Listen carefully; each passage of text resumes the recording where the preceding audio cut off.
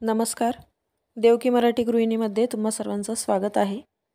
गुरुपौर्णिमा ही आषाढ महिन्यातील पौर्णिमा म्हणून ओळखली जाते.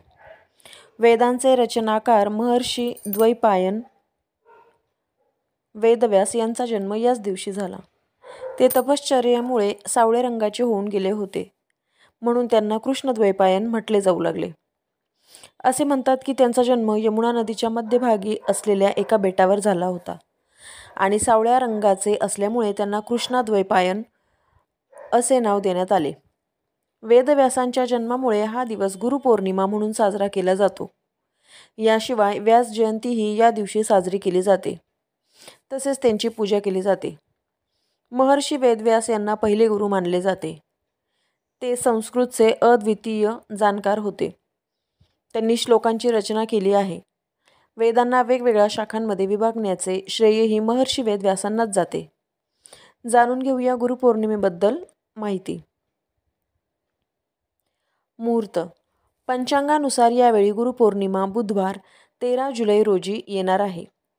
आषाढ महिन्याची पौर्णिमा या दिवशी पहाटे चार वाजल्यापासून सुरू होत आहे. त्याचवेळी पौर्णिमा तिथी तेरा जुलै रोजी दुपारी बारा वाजून सहा मिनिटांनी समाप्त होईल. गुरुपौर्णिमेला तयार होत आहे चार राजयोग.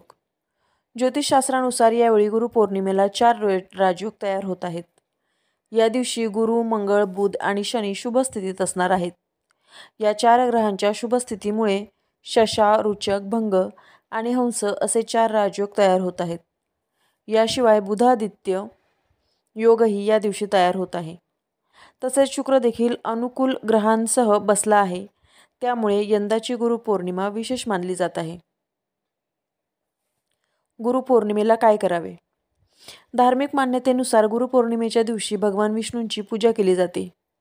या दिवशी भगवान विष्णूंची पूजा फार फलदायी असते असे मानले जाते.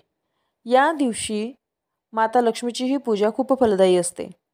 या दिवशी भगवान विष्णूला पंचामृत अर्पण करणे खूप शुभ मानले जाते.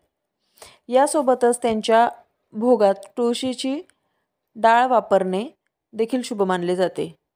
त्याचबरोबर या दिवशी देवी लक्ष्मीला खीर अर्पण केल्याने तिची विशेष कृपा प्राप्त होते.